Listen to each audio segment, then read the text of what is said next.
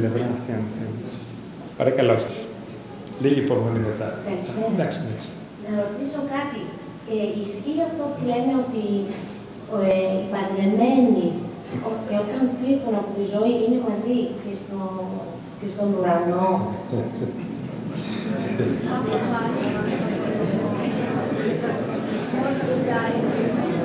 Εγώ πάντως δεν είμαι παντρεμένος και δεν ξέρω από αυτά. Δεν με συγχωρέσετε. Αυτά τα γνωρίζουν οι έμπειροι.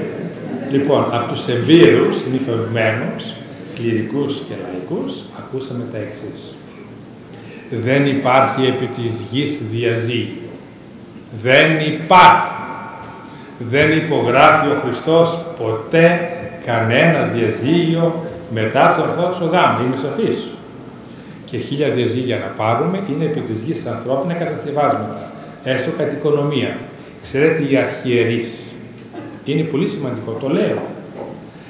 Τι λογοθοσία θα δώσουν όταν υπογράφουν το διαζύγιο; Λέω ένα παραμύθι που δεν θα γίνει ποτέ, γι' αυτό το λέω έτσι με τόσο απλό, άνηση. αν είμαι ο δεσπότη που δεν θα γίνω ποτέ, γιατί δεν έχω τα μισόνα και έχω και τα κολλήματα. Δεν μπορώ να γίνω δεσπότη. Τι θέλω να πω; Δεν θα υπέγραφα ποτέ διαζύγιο. Ποτέ. Δεν θα με κολλάσεις εσύ. Ποτέ. Ούτε και θέλω να κολλαστεί από μένα τον παλαβό, να σε πλανήσω. Ποτέ. Δεν θα, δεν θα, δεν θα χωρίσεις. Αν θέλει ο Θεός, έχει τον τρόπο του, χίλιου τρόπους να φέρει τον τρόπο. Δεν θα υπογράψει η Εκκλησία όταν υπέγραψε την ένωση. Ποτέ. Όχι είναι κατά του διαζύγιο. Ο Χριστός το λέει αυτό, όχι ο άνθρωπος. Να ξαναδιαβάσουμε αυτό το Ευαγγέλιο του Χριστού που λέει παρεκτός λόγου πορνείας και να αναλύσουμε το παρεκτός λόγο πορνείας και μετά να πούμε αν θα είναι μαζί στον παράδεισο. Λοιπόν, ένα εκ των δύο επόρνευσε ή εμίχευσε και το λέγει ή συνελήφθη υπαυτοφόρο. Πρέπει λοιπόν να χωρίσουνε; Όχι. Όχι. Μα τι είπε ο Χριστός; Εάν θέλεις να χωρίσεις, χώρισε. Αλλά αν είσαι πιο πνευματικός, να μην χωρίσεις. Και μετά τη μοιχεία. Και μετά τη μοιχεία. Έτσι, έτσι. Και τι να κάνω; Δεν μου λες, εσύ που έκανες αυτά, εγώ άλλο οποιοδήποτε δεν είναι. Εάν πας να εξομολογηθείς, θα συγχωρηθείς. Το Χριστό μας, ναι. Γιατί δεν συγχωρείς τώρα κι εσύ. Ε, και αν ο Θεός σηκώσει τη χάρη από αυτόν, από αυτή και κάνει εσύ τα διπλότερα, και γίνονται αυτά τα πράγματα. Τι κάνουμε; Αυτά είναι δουλευμένα από πικρή, πικρότατη εμπειρία της Εκκλησίας. Αν τα γράψουμε θα είναι τόμος. Έχουμε πολλά παραδείγματα. Το θέμα δεν είναι τα παραδείγματα. Το θέμα είναι ότι εγώ με αυτό που κάνω σώζομαι ή κολλάζομαι. Αυτό είναι το ζητούμενο. Θα είμαι μαζί στον παράδεισο με τον σύζυγό μου ή θα είμαι μόνος μου; Λοιπόν, επί της γης δεν υπάρχει διαζύγιο, δεν υπογράφει Χριστός. Ο Χριστός μόνον ενώνει και ο διάβολος μόνο χωρίζει. Μας έλεγε ο δικός μου γέρονο όταν γίναμε δόχυμοι. Παιδιά μου λέει. Θα το πω τώρα και αυτό που θυμήθηκα. Τους παντρευμένους Καθοδότης μόνος δεν είναι. Ο διάβολος ισοβίος, ισοβίος, θα τους σφυροκοπεί ευκαίρος ακαίρος, άσχετα αν έχουν δώσει δικαιώματα. Από αυτόν και από μίσος, όχι ότι κάναμε κάτι, τους παντρεμένους τώρα, να τους χωρίσει. Και αν πεθαίνουν, και αν πεθάνουν ενωμένοι και οι δύο μαζί, είναι σωσμένοι γιατί νικήσαν τον διάβολο. Οι γονείς μου πεθάνουν και οι δύο μαζί, ήταν ενωμένοι, δεν χωρίσανε. Να το πάρω έτσι. Γι' αυτό είμαι σίγουρος ότι πήγα στον παράδεισο έστω και να ήταν απλοί άνθρωποι. Τους δε μοναχούς και ιερωμένους με το σχήμα αυτό προσπαθείς ισοβίως να τους αποσχηματίσεις. Εφόσον σε βλέπω με το ράσο, είσαι νικητής του Χριστού. Είναι σαν το κόκκινο πανί στον τάβρο. Να μην με λένε, λέει, διάβολο αν δεν σε χωρίσω, τον πατρεμένο, και αν δεν σε αποσχηματίσω. Ξέρεις τι θα πει διάβολος στην βουλή των δαιμόνων; Ακούσατε στην σύνεξη των εωσφοριστών των Ελλήνων, εωσφοριστών. Είναι στον Ορθόδοξο τύπο 12 Ιουνίου. Ξαναδιαβάστε. 12 Ιουνίου, Ορθόδοξος τύπος. Εκεί γράφει στη δεύτερη σελίδα τι λέγουν οι εωσφοριστές του κόσμου του. Ξέρουν. Να μην τα πω. Τι λάθος, τι ψέμα, τι κακία, τι πλάνη, τι, τι σκότος είναι αυτό. Πού βρέθηκαν αυτά τα παλαβά μυαλά. τι πόνος είναι για μας. Λοιπόν, δεν υπάρχει διαζύγιο επί της γης. Εν ουρανής υπάρχει διαζύγιο.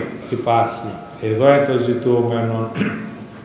Πότε το αντρόγινο θα είναι μαζί στον ουρανό; Γιατί έχουμε πολλά αντρόγυνα στον ουρανό και πολλά αντρόγυνα που δεν είναι μαζί στον ουρανό. Αλλά ζήσανε μαζί επί της γης. Ζήσανε μαζί, όχι ότι δεν χωρίσανε, ζήσαν μαζί εν Χριστώ. Αυτό σώζει και αγιάζει.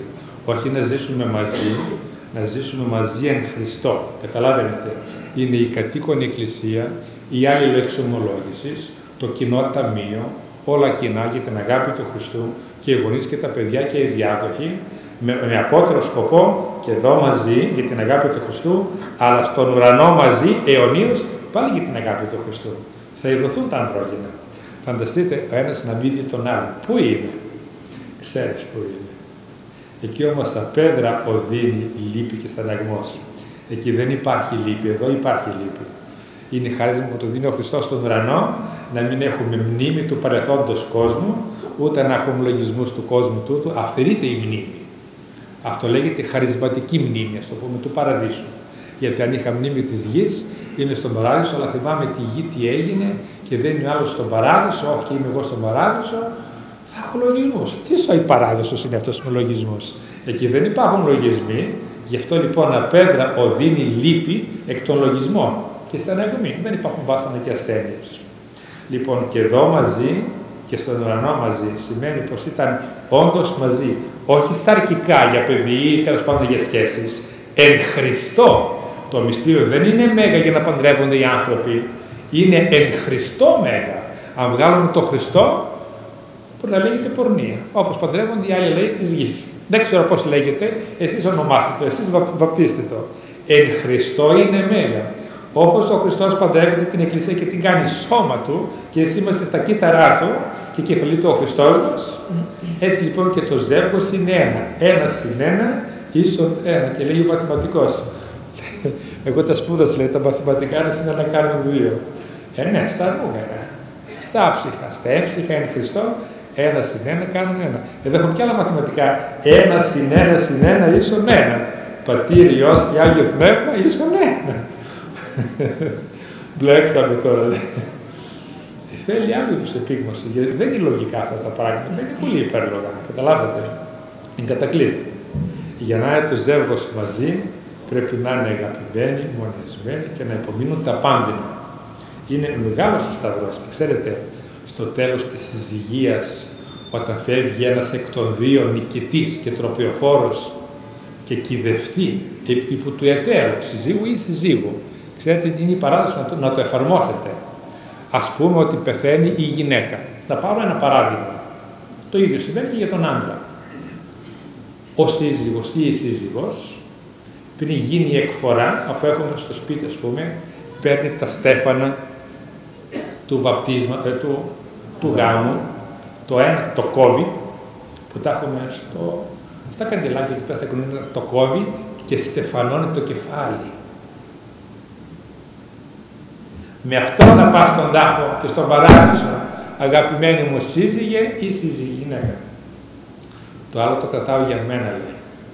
Μετά από λίγο αλωθώ κι εγώ. Πίστευα πώ θα πάω εγώ πρώτο, πήγες εσύ πρώτα. Εντάξει, να είναι ευλογημένο. Λοιπόν, σε στεφανώνω. Και εδώ μαζί και στον παράδεισο μαζί. Ζήσαμε μαζί, φεύγουμε τώρα μαζί, είμαστε νικητέ, ο νικητής με τους νικητάς. Και Στέφανο εδώ επί της γης, από την εκκλησία μας πανηγυρικά με τα παρεσίας πολλής, στον παράδεισο να δείτε τι στεφάνι θα είναι. Όσο το βάρος, τόσο και το βάρος του στεφάνι. Ψυχής και σώματος. Δηλαδή, πολύ το βάρος της χάριτος. Τόνος δόξας χάριτος. Αν όμως δεν ζουν Χριστό μαζί, και εδώ δεν είναι μαζί, γι' αυτό δεν θα είναι και στον άλλο κόσμο μαζί. Γιατί και εδώ δεν είναι μαζί και εν Χριστώ δεν είναι μόνο μαζί μαζί, δεν είναι συγκάτοικοι, δεν είναι συνένικοι, εδώ είναι μυστήριο μέγα. Και μάλιστα πολλά αντρόγυνα, τώρα να το πω και λίγο πιο σοβαρά, μετά από χρόνια προσταμωτούν τις αρχικές σχέσεις για την αγάπη του Χριστού, εξυμφώνουν, εξυμφώνουν για την αγάπη του Χριστού, προάγονται και φτάνουν από την τριακοντάδα στην εξικοντάδα και μετά στην εκατοντάδα και γίνονται τέλειοι. Να πω και το παράδειγμα ή θα σας κουράσω πολύ. Ο Άγιος Αντώνιος κοιμήθηκε 105 χρονών όταν ήταν παππού στα 90 Δηλαδή έχουμε ακόμη λίγα χρόνια θες, δεν είναι; Στα 90 του λέει τώρα γύρασα εγώ, τώρα τόσα χρόνια άσκηση από μικρή μου ηλικία. έφτασα σε πολύ μεγάλα μέτρα. Ποιος είναι η σωστάσιό μου, Είναι κανείς. Είπε ενδομήχο.